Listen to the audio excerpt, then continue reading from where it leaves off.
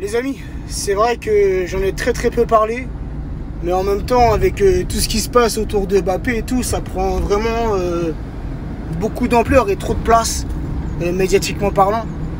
Mais Idrissa Gueye, alors j'ai fait un petit, un petit, un petit post, une petite publication Twitter que j'ai aussi mis dans, dans, mes stories Snap et Instagram où j'apporte mon soutien à Idrissa Gueye par rapport à ce qui se passe là maintenant depuis le match contre contre Montpellier.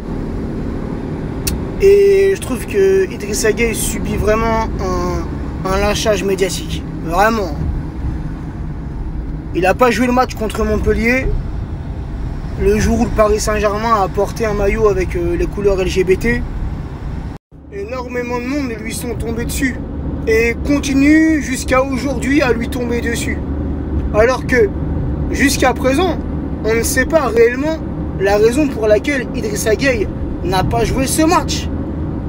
Et tout de suite, ça a été relayé dans la presse le lendemain.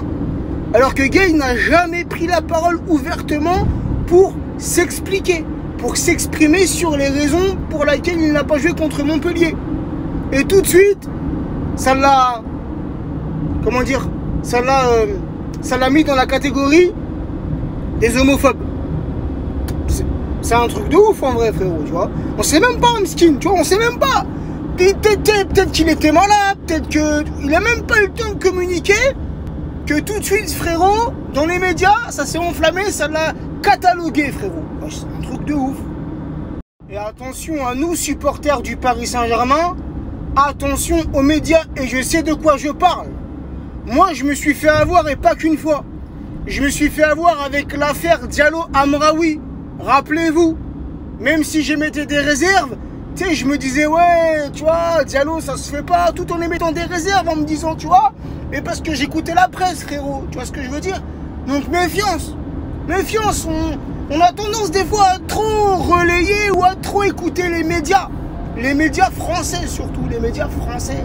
On sait très bien leur position envers le Paris Saint-Germain. Quand il y a un petit, un petit truc à mettre sur nous, frérot, ils vont le mettre.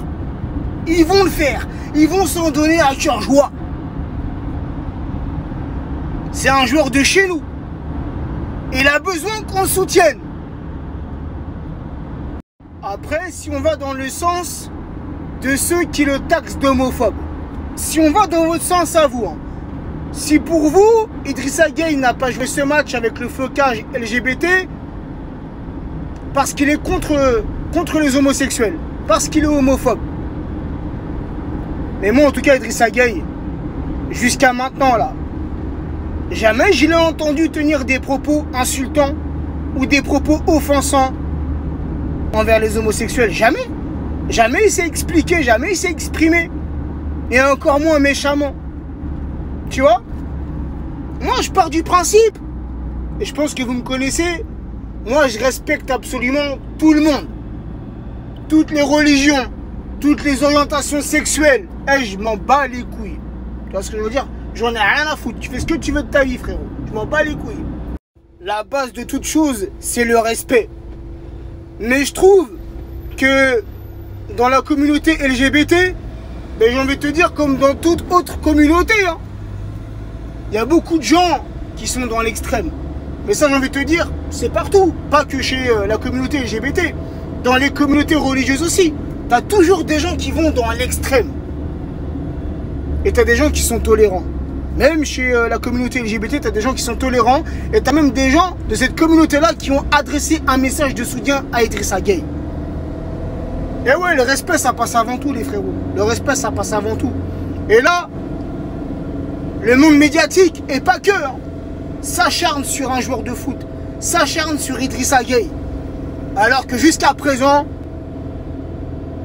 on n'a aucune preuve concernant son absence du match à Montpellier. Aucune preuve, aucune preuve, il n'y a rien. Il s'est même pas exprimé comme je dis.